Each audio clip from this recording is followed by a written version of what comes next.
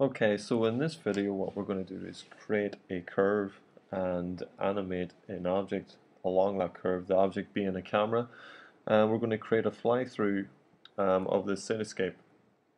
Now you can find this for my students on LMS, um, it would be in Unit 66 folder, and it's just called Skyscrapers.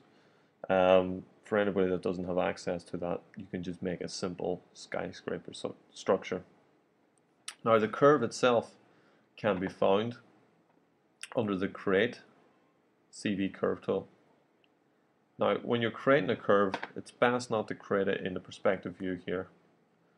You're best off going into your top view to start off with.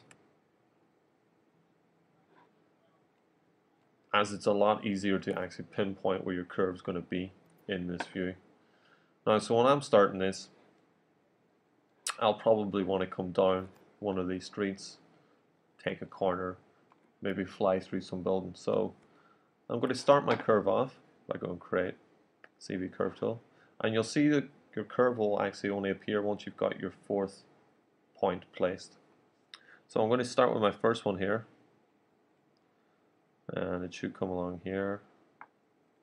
Three. And once I hit this fourth one you'll see my curve is in place and I'm just going to bring it up here. Maybe fly through a few buildings.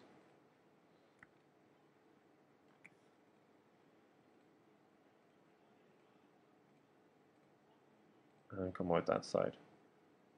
Once you're happy, once you're finished, uh, you just press enter. And you see that your curve's already selected.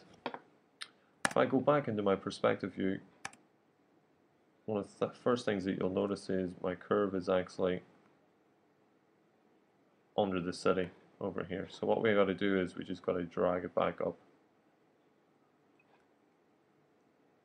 And what, then we can actually hold right click over it, go to control vertex, and we can grab these pink vertices and we can move these up and down depending on what way we want our curve to go so we can kind of give it a roller coaster effect.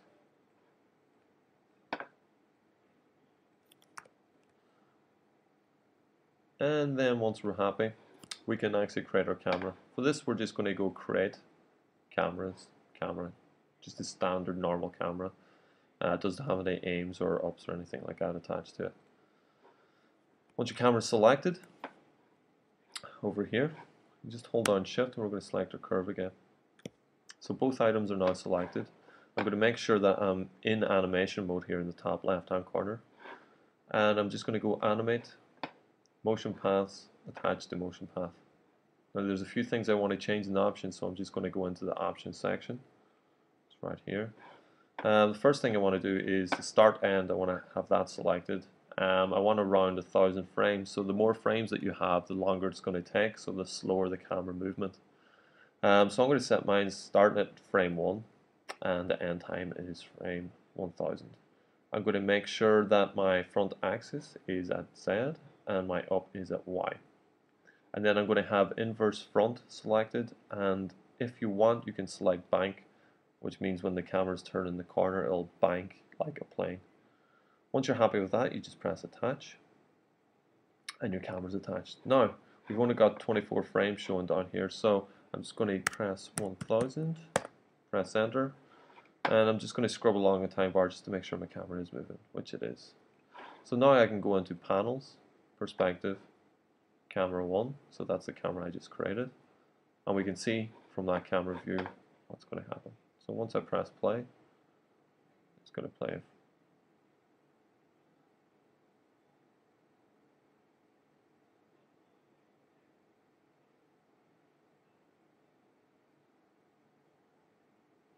So that seems to be fine, working okay. Um, if you do find that your camera is going too fast, what you might want to do is just right click over the play button, make sure playback speed is in real time.